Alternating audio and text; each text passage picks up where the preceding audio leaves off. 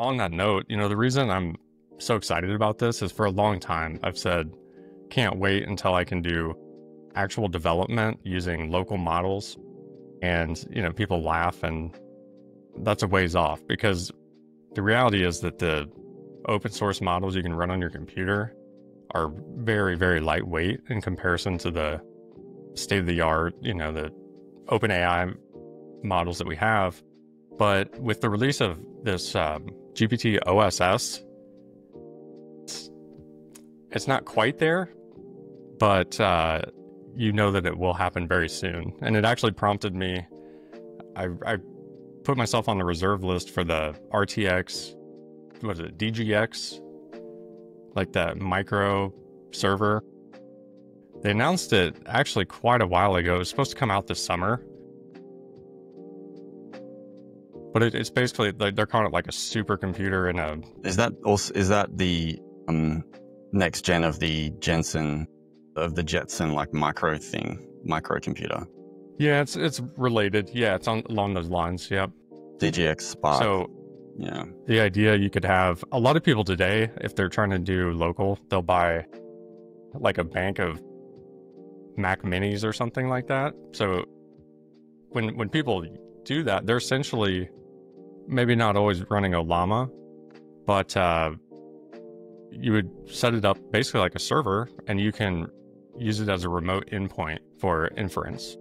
And actually, there's a, a really cool company, uh, Web AI, and that's their on-prem solution right now. Is a bank of like ten uh, Mac Minis, and huh. it, it's basically just acts as a remote server. Okay, so this is the desktop app that I mentioned. Tom, as you can see here, uh, these are most of these are models that I've downloaded on my computer. And uh, I guess you have to actually, I think you have to have these downloaded for them to even to use the turbo, the cloud version. But as you can see, I select the uh, 120 version and then I click on this turbo button, and that's what enables that cloud accelerated um, booster. And it's it's twenty dollars a month right now, and uh, it seems like a really great deal. Of course, I don't know what kind of limitations there there are. As I haven't hit rate limits or anything yet, but I also haven't been using it ex- extensively. But my first observation, Tom, I messaged you and I was like, whoa, this is so fast. Yeah. And it is, but I didn't I also didn't realize that it was using the cloud accelerator.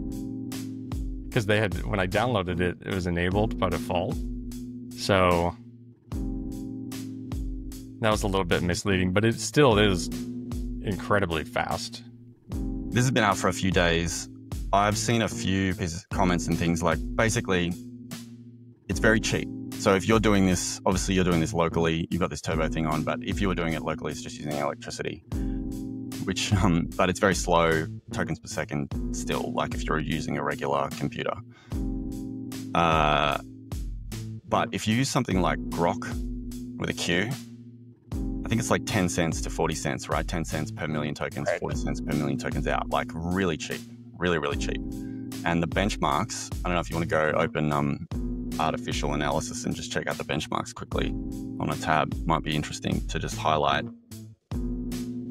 The benchmarks on key, like STEM related tests, are very good. But then anecdotally, some of the feedback has been basically um, it's kind of a bit dumb and doesn't have as much embedded knowledge on some of the more generalist stuff.